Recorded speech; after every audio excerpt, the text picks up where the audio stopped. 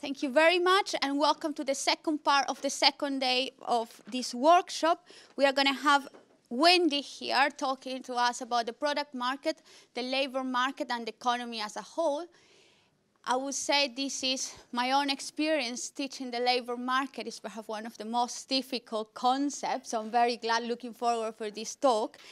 And just uh, some housekeeping, we are uh, we are going to finish at 4.30 and we are definitely going to finish at 4.30 we're going to try to finish a bit earlier so no worries we have to catch trains after that.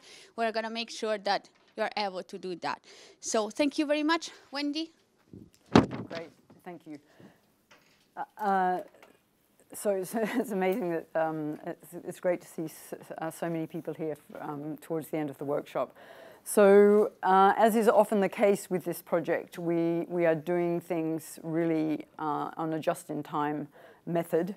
So we're at the moment um, in the final stages of preparing the 1.0 version of ESPP, which will be available for teaching in, uh, in, in the autumn, and there'll also be a, a, physical book available. So we're sort of all systems go. Uh, but what that means is that we are actually um, literally writing stuff now. So, uh, so this discussion that I'm going to put, put forward today is something that uh, didn't exist uh, a week ago. Uh, so, so that's why that's why you're here. I hope to to help and provide some feedback.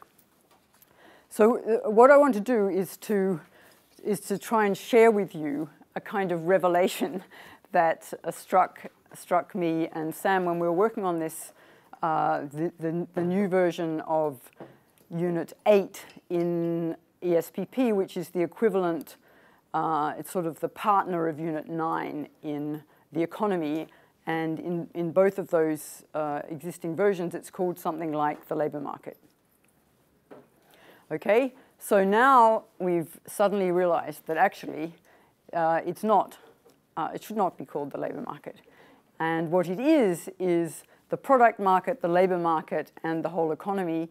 And one way to think about it is that it's CORE's alternative to consumption, production, and general equilibrium.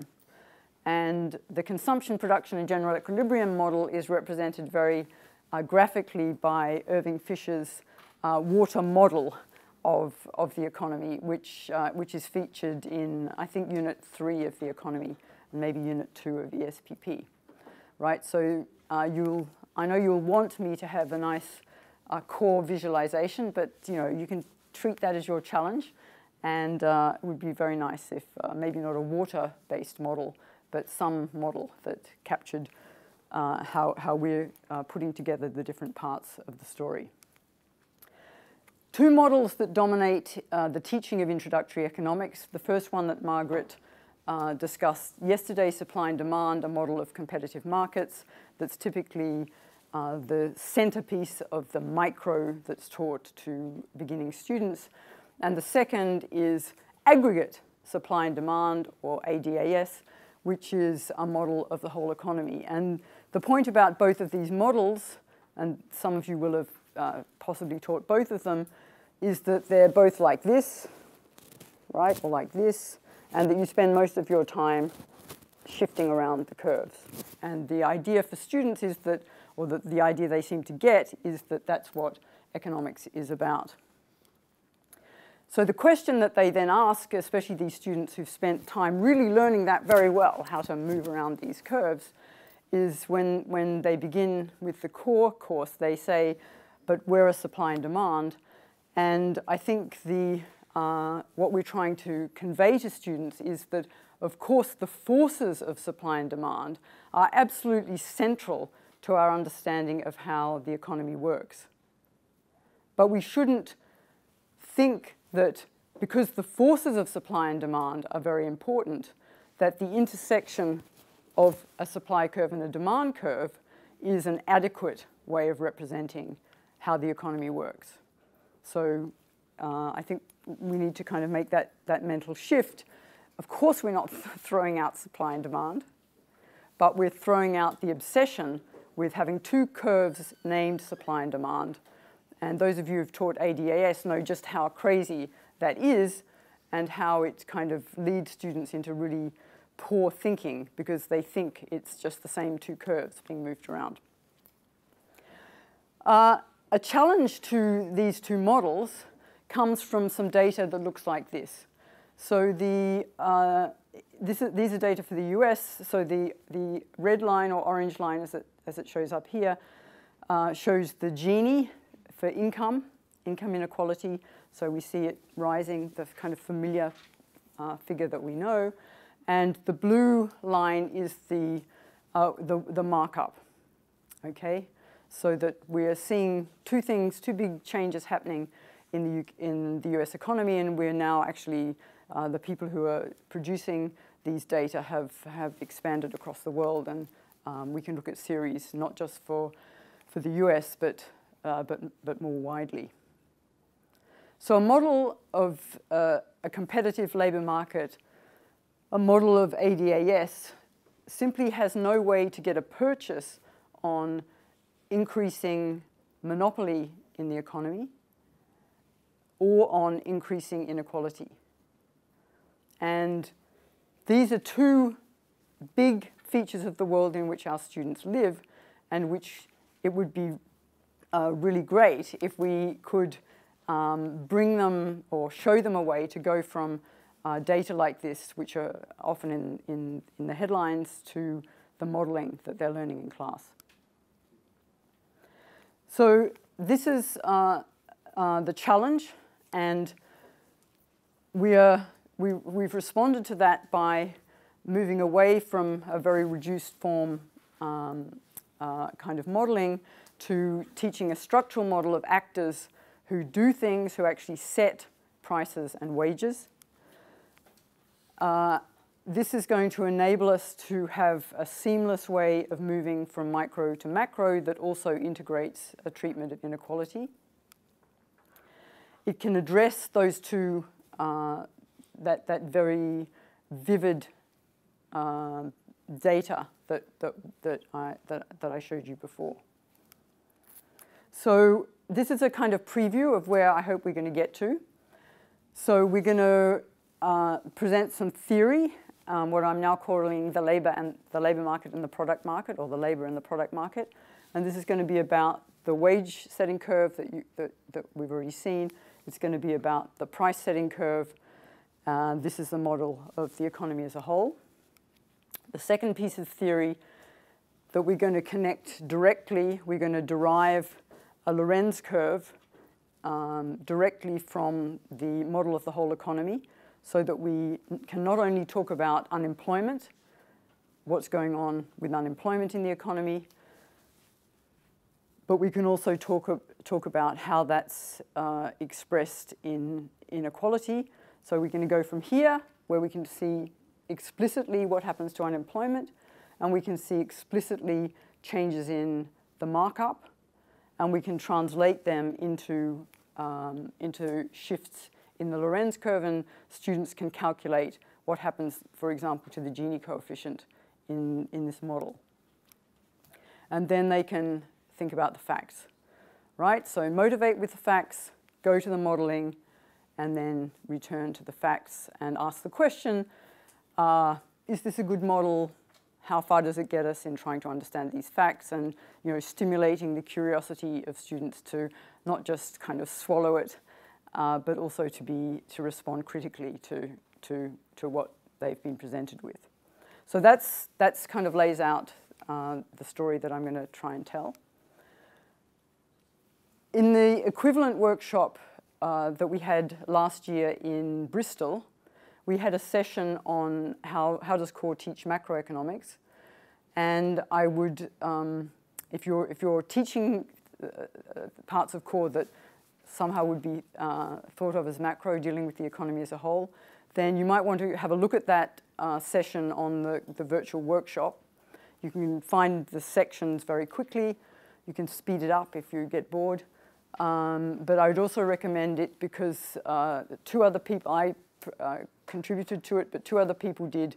David Hope, who is a, uh, one of the authors in the core project who's taught it at KCL for several years, um, and uh, Gonzalo Paz-Pardo, who is a TA at UCL. And he really, Gonzalo really gives the TA perspective on teaching this model. And so you don't have to look at anything else. You can just go straight to him in that virtual workshop, and I think you'll get a lot of insights, especially if you're, if you're uh, finding this challenging. So um, this, yeah, so this is uh, the model. Um, this is a slide from last, the last workshop, so I'm just um, putting it up in here. I've already pointed out we're going to show direct links to inequality. We're going to, so this is what's covered really in units 13 to 15 and unit 17 of the economy. Note, those of you who are using ESPP, that there are 12 units of ESPP. So what comes after 12? 13. Excellent. So, so, so you can go straight to unit 13 of the economy from unit 12 of ESPP. So it's designed to dovetail um, from ESPP, um, and because the macro units of the economy are very policy focused, it's very suitable for a policy oriented course. Okay, so um, we uh, talk about the the structure, structural unemployment, which I'll come to, and obviously in that in the in the uh, macro context, this is the inflation, inflation, stabilizing unemployment rate at the Nash equilibrium. Uh, it's it's uh, the Shapiro-Stiglitz model is behind all of this. We talk about cyclical unemployment.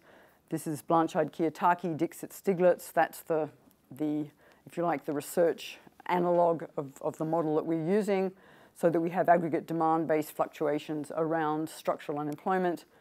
We have a bargaining gap-based Phillips curve where we derive the Phillips curves sort of not out of thin air or not just sort of empirically, but we derive them from the wage setting and price setting curves.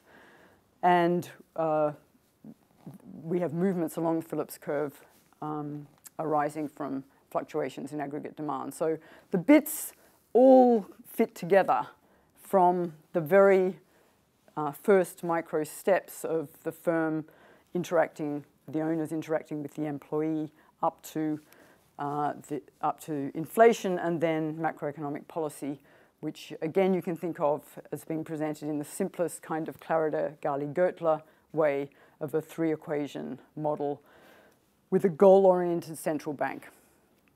So the feasible set, the indifference curves are uh, used in the presentation of the model of the, of the central bank, just as they are in so many other settings in, in the text.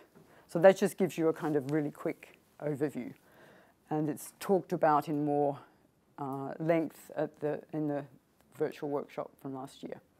Okay, so back with what I really want to focus on uh, today, which is, which is much narrower than that. What I want to do is to try to pull together what's in Unit 6, the firm sets the wage, what's in Unit 7, the firm sets the price, into what is in Unit 9 or Unit 8 in the SPP, which is now called the labour market and the product market, unemployment and inequality. It used to just be called the labour market, and I'm going to try and convince you that it'll probably even help you understand the model better, it having a new title somehow giving equal weight to the labour market and the product market. The, uh, the way that we approach this overall view of the economy, you could say, has kind of classical roots. And um, on the one hand, uh, uh, so we, we bring together, if you like, classical views of uh, structural views of in income distribution, thinking on the one hand of capital versus labor, the Marxian tradition, and on the other hand, the firm versus consumers, the Smithian tradition. So both of those are really embedded in the core approach to the economy as a whole. And again, that's kind of that's a, that's the way the thing works. You know, wherever the ideas come from, if they're good ideas, then we should put them together and uh, and use them. Uh, so I'm going to talk about that. Then I'm going to uh, okay. I think I probably won't go through the outline because uh, We just want to get there. At the very end, because you think I've, I've uh, it's been false advertising, I think the original title for this session was about uh, modern monopoly. Um, that was before we had this kind of big idea. And I'll come back at the very end to give some comments about modern monopoly and where you can find resources, already existing resources, resources in core. So these are the two views, the capital versus labor, Marxian insight, and the Smithian insight. And it's both of those that we bring together to characterize the labor market and the product market uh, in, uh, in the economy as a whole. And that's thinking like this is the explanation, if you like, in two bullets of why we have a model of the economy as a whole that is going to be intimately connected with income distribution. Okay, so that's, if you think like this, then it's not so weird that in the model we're going to be able to talk about that rising uh, Gini and the increasing profit share or markup.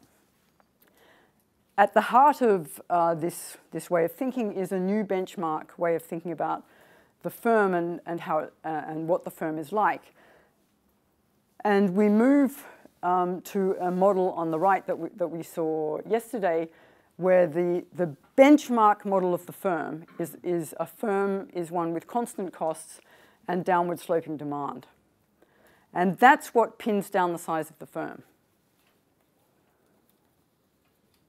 So the opposite is the standard benchmark, which is this benchmark, which is obviously a bit of a problem in a price-taking world. How on earth do you pin down the size of the firm? Well, you have to work really quite hard, and it's fairly complicated to understand it. But if you start having these U-shaped cost curves, then even though you don't, you don't find many of them, it's like a theoretical solution to the problem.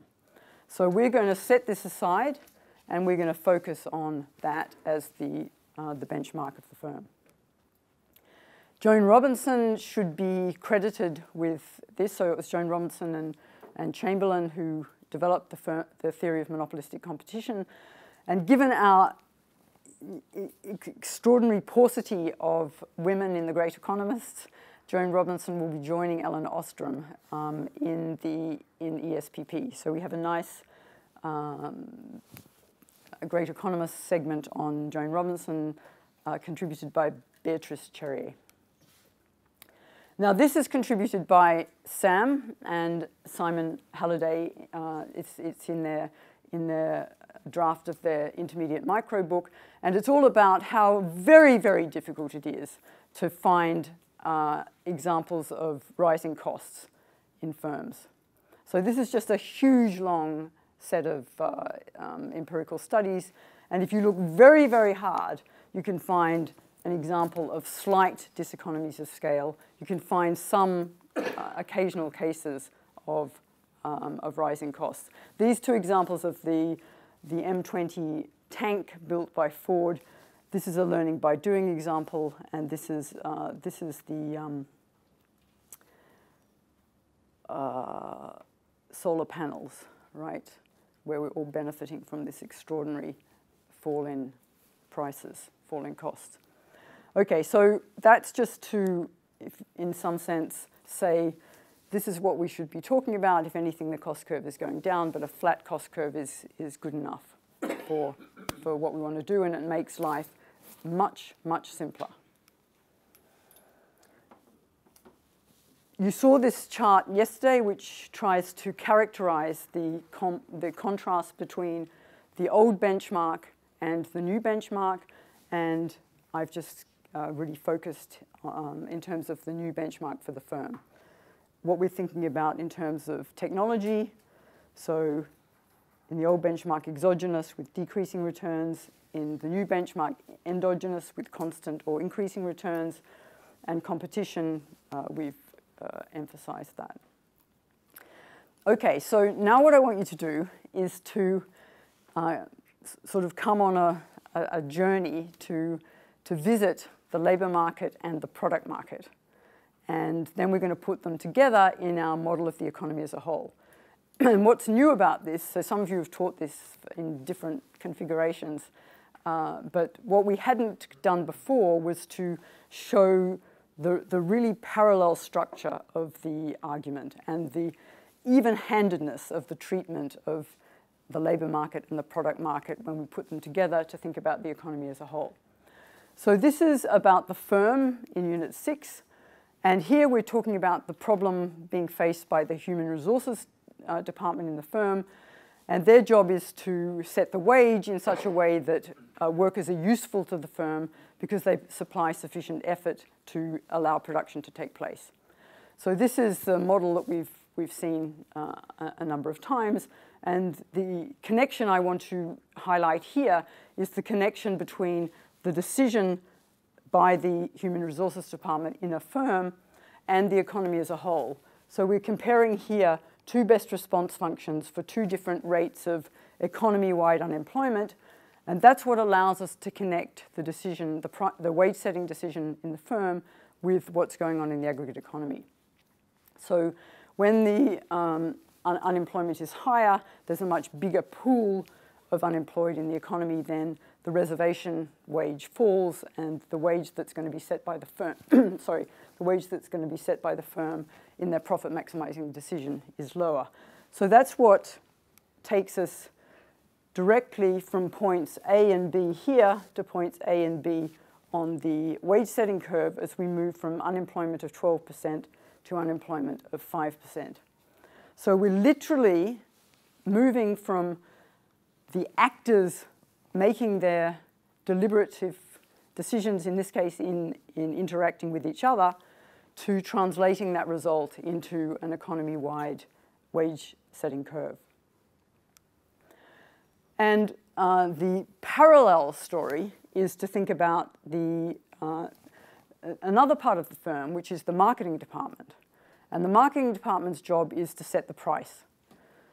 So their uh, the constraint that they face is the demand curve, and they, they have to make their decision given the wage that's being determined by the, uh, the HR department, uh, and the technology which they learn by talking to the uh, production department.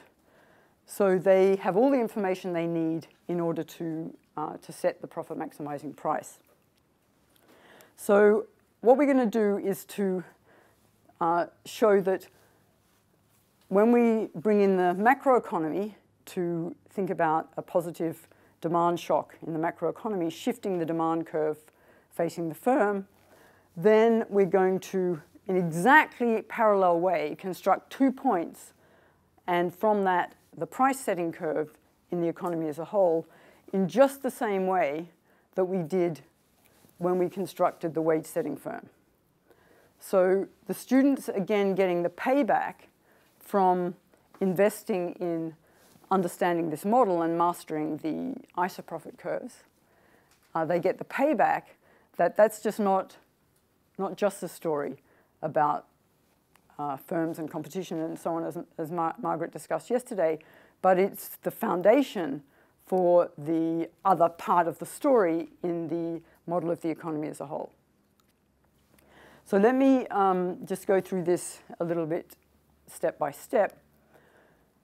So, okay, this is, um, this is just the firm setting the price. So the firm sets the profit maximizing price. We went through this example yesterday.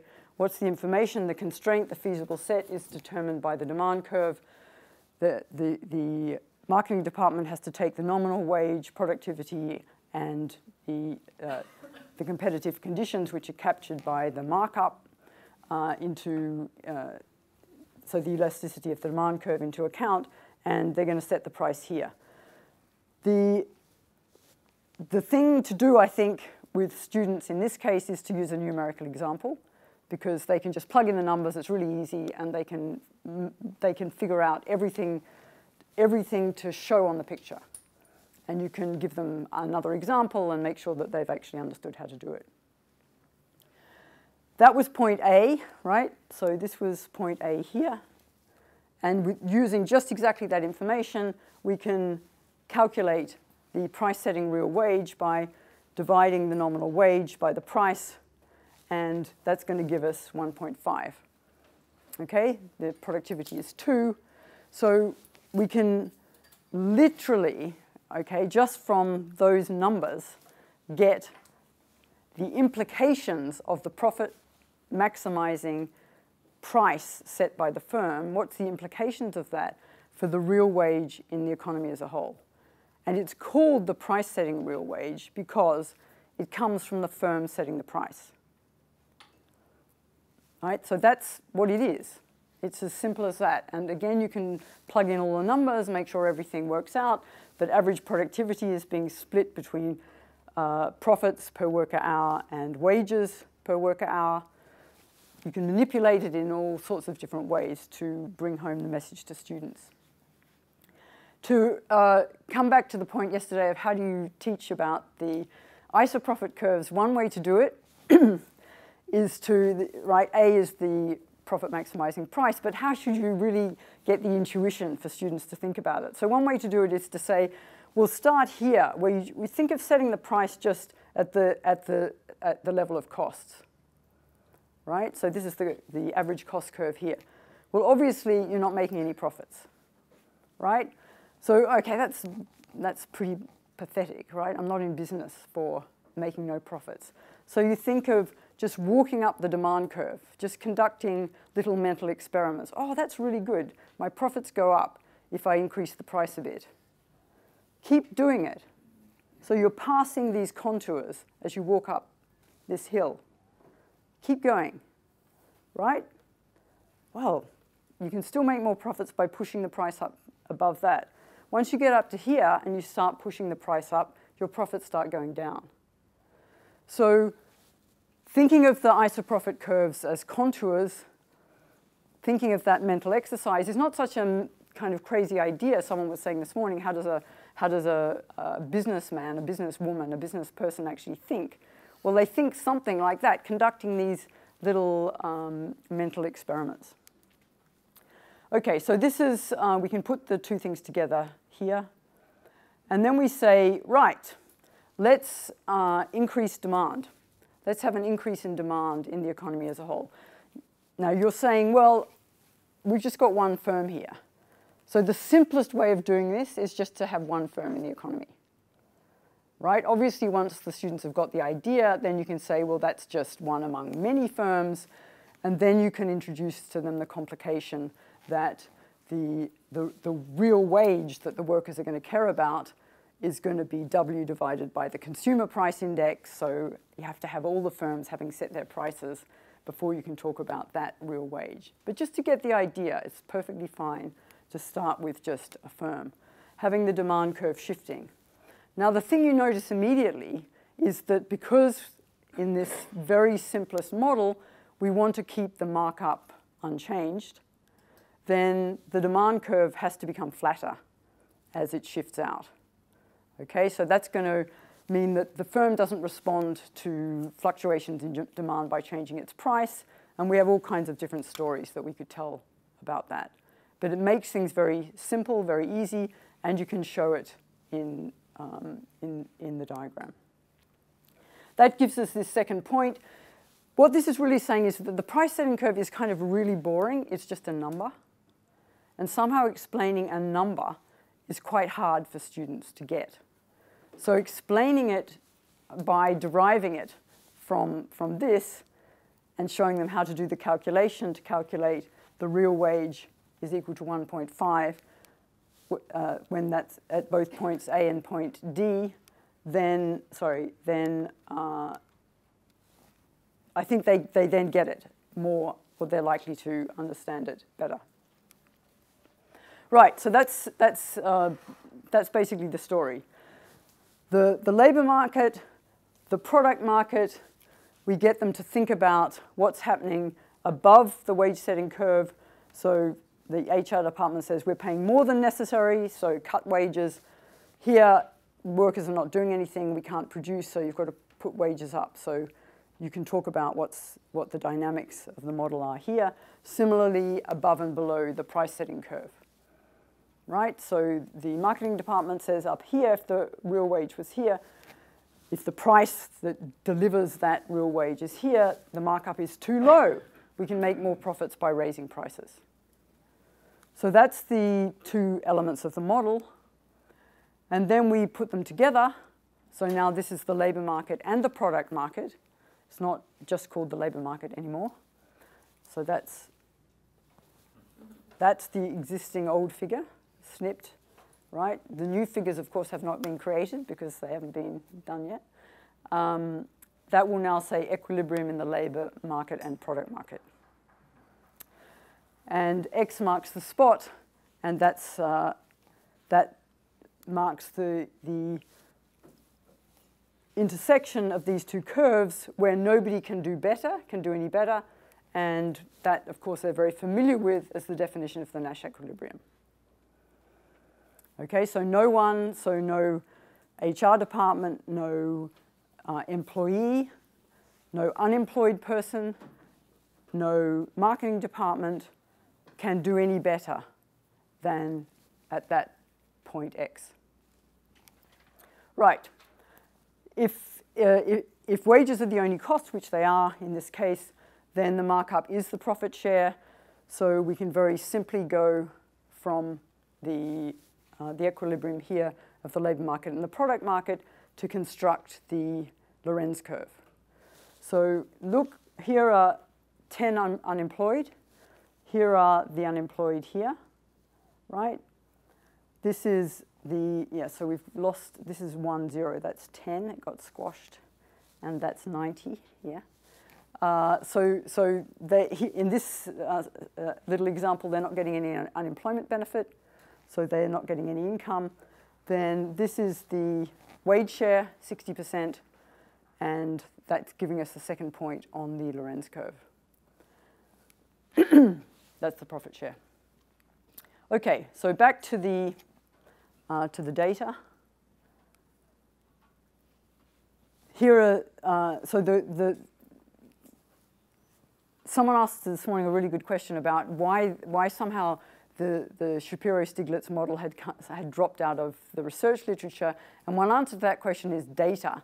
And the two papers that Sam put up this morning are, are illustrating that now with so much better microdata, uh, that those theories can now be tested empirically. So we, are beginning to see research um, uh, that we can refer our students to using examples, and we already do that in the economy um, because we've got such micro firm level data.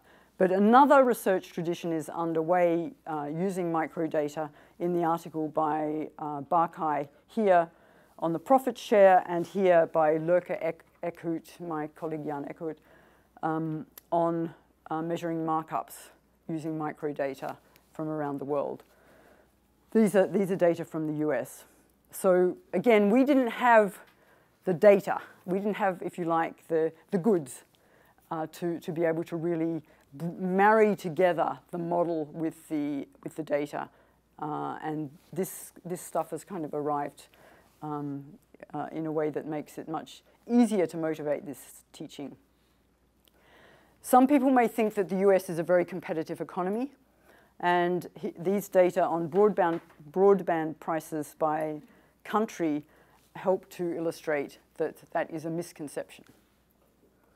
And yeah, lots of people who know about the US are kind of nodding sagely. okay, so uh, obviously we can just um, manipulate the model. This is this example, uh, which is in the economy, is looking at an increase in competition. So if there's an increase in competition, then uh, the uh, the price setting real wage shifts up.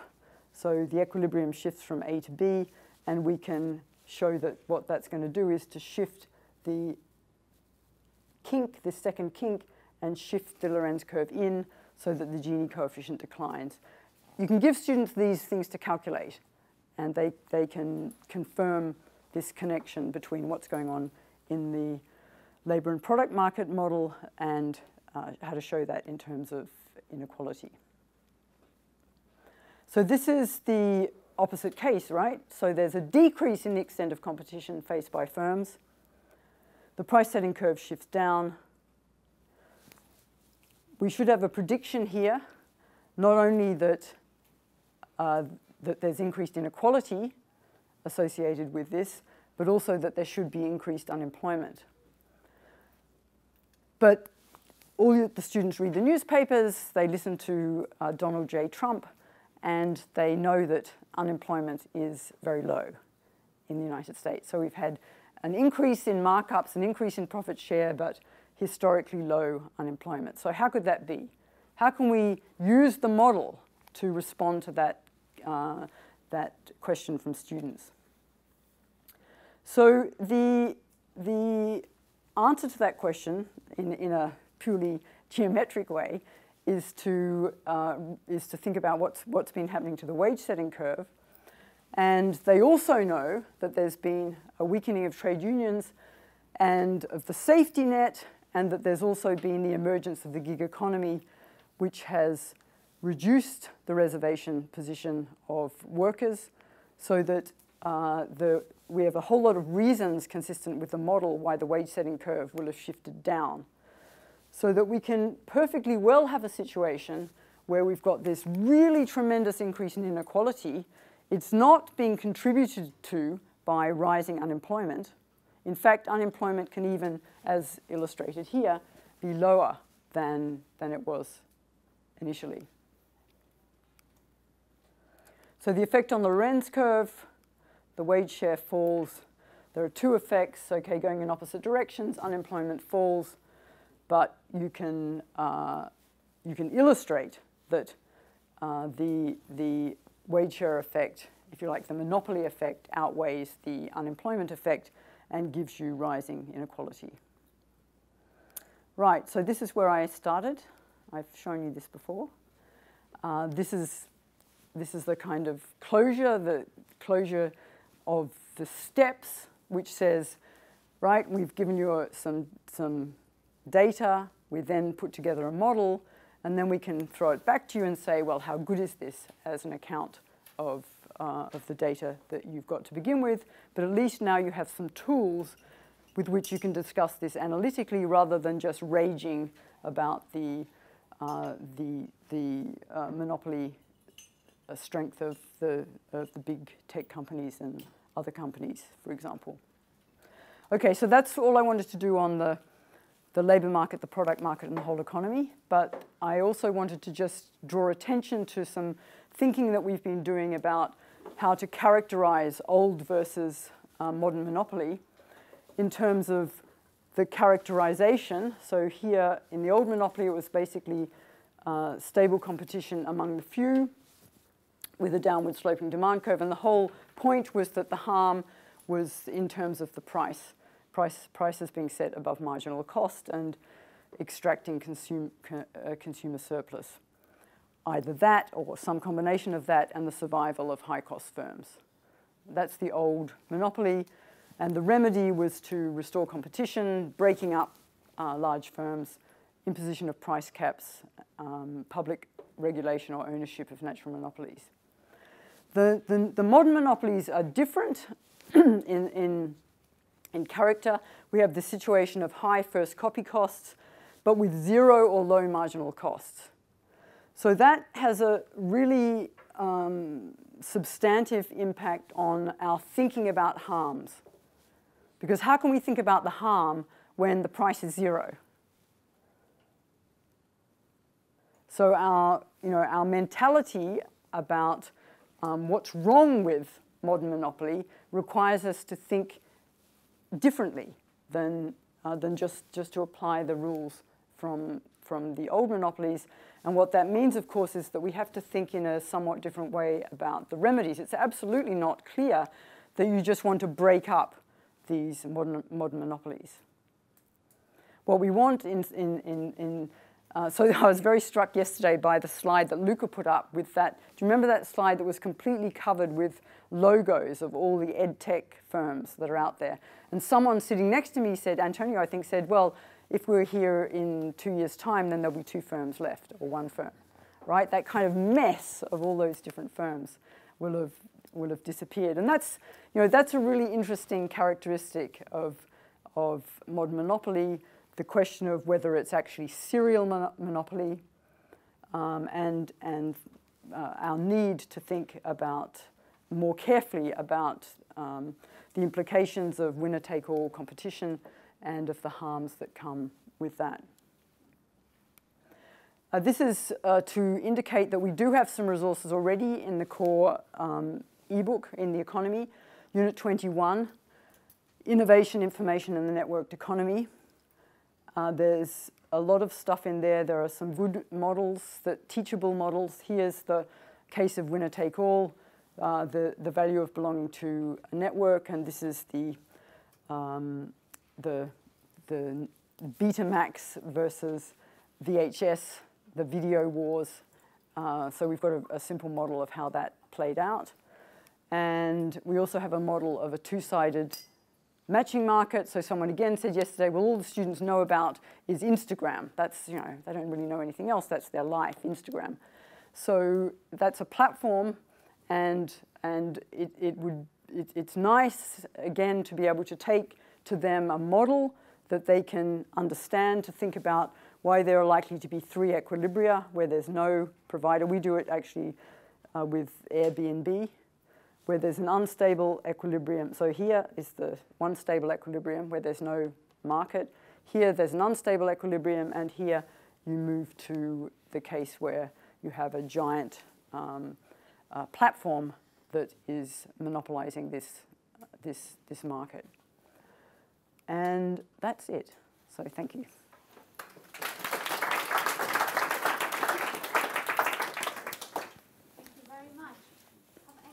Questions?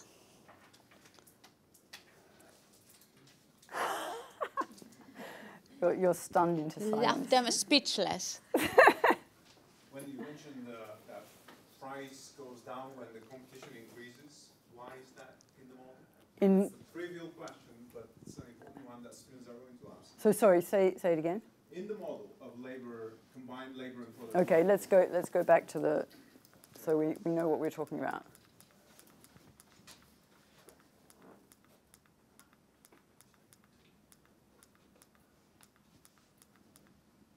Okay, nearly there.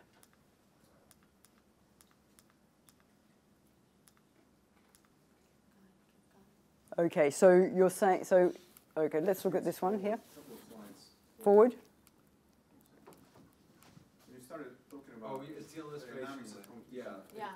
Yeah. We, we, said let's illustrate with the increased competition. Yeah, here we go. Increasing competition. Yeah. Increasing competition, then the effect of this increasing competition is prices go down, like in the traditional eh, it, absolutely, and, and that pushes up the real wage.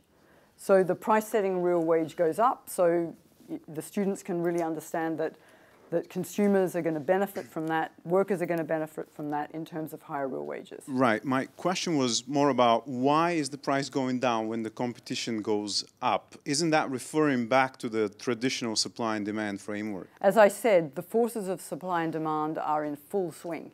Okay. No, wait, wait a minute. I mean, all, all, all that Wendy said is that as competition increases, the elasticity of demand increases. Yeah, which is the same thing. That's what lowers the markup. It has nothing to do with supply and demand in terms of this. Yeah, it has nothing Not to do with. all. I mean, it's, it's just Chamberlin Robinson. I think the confusing point is that the previous slide had an unchanged price, so probably but that was about another.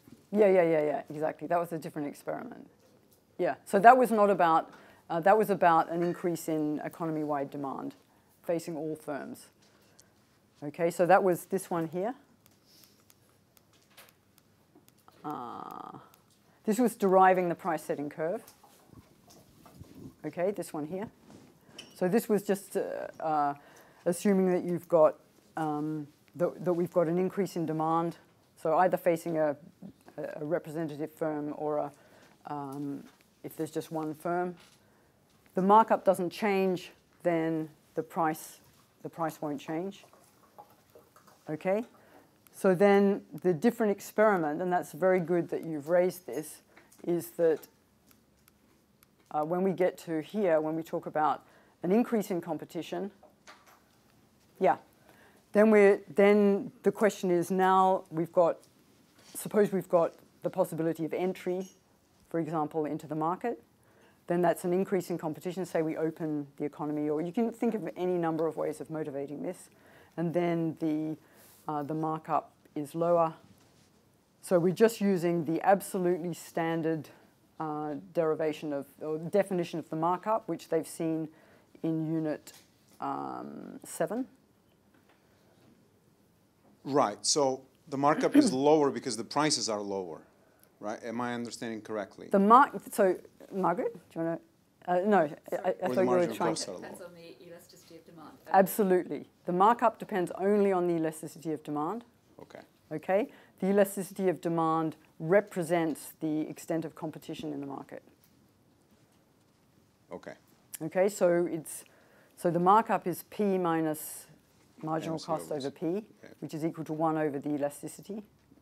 Okay, so that's that's all that we're doing, all that we're manipulating here, and we're saying that this increase in markup is uh, is representing a fall in elasticity of demand uh, in these industries. You can do exactly the same thing with a Cournot model, in which if you have some barriers to entry, if you lower the barriers to entry, you end up with a larger number of firms and a lower price. I mean, it doesn't, it doesn't matter really which of these models you use, because they all work in the same direction. But for students, it's really in this uh, representation because there are so few parameters that they have to think about. Uh, they can literally derive what the implication is for the for the real wage, because, for example, of a change in the elasticity of demand. And that's the uh, that that's the. Uh, I think uh, be interesting to have have people's comments. So Steffi said, okay, this this thing is kind of hard to teach. Most people find the wage setting curve is very natural for students. They find that. Uh, they actually find the model of the, if you like, the HR department pretty straightforward. They've experienced what it's like being getting a job.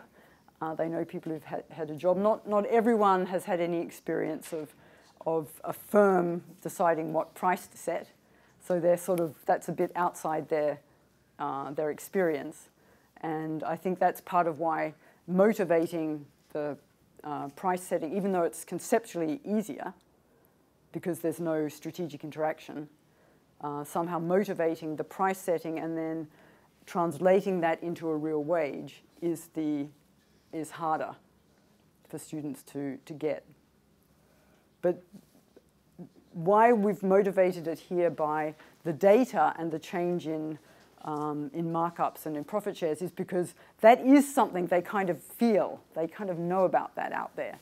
And, and therefore, being able to see that turn up in the model is, I think, a help to understanding how it works. Is that the existing chapter nine already? no. Some of this is, this, this particular picture is in existing chapter 9. But the thing that's not in there is the thing I showed you, the putting together the two, uh, this. Okay, so doing the parallel story between the, uh, the price setting curve and the wage setting curve. So the micro and then the macro is, we haven't explicitly done that. It's in there, but it, we've not explicitly done it. And if you go on to unit um, 15 and do the um, inflation, then the, the, the price setting in some ways then becomes much more natural because you have some fluctuation in demand. You open up this bargaining gap between the wage setting and the price setting curve.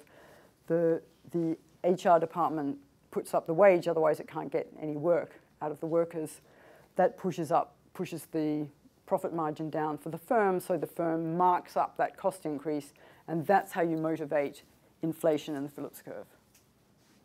So the Phillips curve drops naturally out of the, the wage and price setting. Okay, there is one question back there. Are we not assuming a constant markup throughout the whole model? Yes. And why do we say before that markup changes? Okay, no, sorry. So for a given, a given competitive landscape, then the markup is constant and we can have fluctuations in demand in the economy as a whole, okay? But that doesn't preclude the possibility of, if- uh, of structural changes occurring over time of the sort that we appear to be observing in the data, right? That have got nothing to do with cyclical fluctuations, but are to do with structural change in the power of firms vis-a-vis their, their customers. Okay, we have Sam.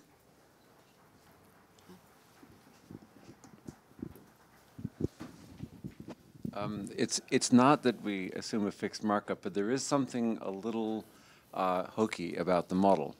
Uh, and uh, if you'll, if you'll notice the way we've done this, you can solve this model sequentially. That is, you can determine the real wage from the conditions of competition in the product market. Once you get the real wage, then you can determine uh, the, out, the output level and the employment level. So, uh, Wendy, could you go to the, back to the, the picture of the, the, there? In this, in this model here, the division of output between workers and owners is determined entirely by the shape of the demand curve. It has nothing to do with bargaining between capital and labor and so on. Uh, the bar bargaining between capital and labor gives you the shape of the wage curve. So if you want, we have Smith on the horizontal curve, we have Marx on the upward rising curve. But the wage share is determined entirely by conditions of competition. Now, I mean, that's, it's very hard to get a simple model that doesn't have that character. And obviously, if you're not at the Nash equilibrium, then of course all kinds of things are, are in play. But uh, the simplicity of this does buy into a, I mean, in, in economics, it's associated with Kalecki's view of income distribution, which was, it was entirely determined by uh, monopoly versus competition. And uh, I mean, I don't think we're going to go straight to hell by making this assumption uh, because the, I, I, think the model puts together both the Marx and the Smith aspect of it. But it is, um, I mean, the, the fact that you can solve it sequentially should tell you that there's something really, really simple here that probably doesn't do a good job on, you know, more complex problems that you'd want to have in mind if you're doing actual policy applications of particular policies, which you might want to simulate or just use a more complicated model.